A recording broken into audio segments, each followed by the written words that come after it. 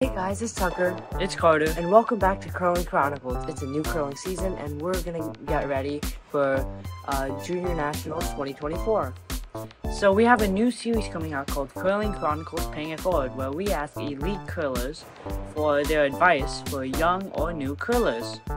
We're gonna get ready to curl right now, so stay tuned. Bye. Uh,